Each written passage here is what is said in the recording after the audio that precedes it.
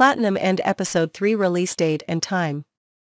The fall anime season has a lot of good stuff going on and one of those is Platinum End which is off to a great start based on the manga series of Tsugumi Ohba with the illustrations of Takeshi Obata.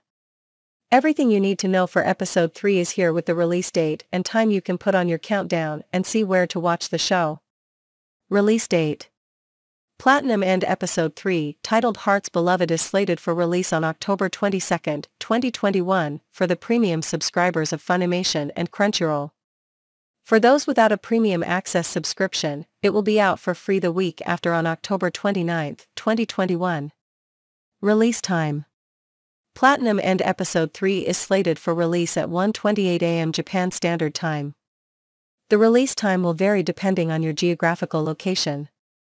The release time on your location is as follows. Pacific Time, 9.28 am Pacific Time. Central Time, 11.28 am Central Time.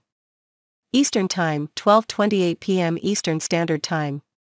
British Time, 5.28 p.m. British Summer Time. Hey guys, this is Gansham. Welcome to WTN Anime.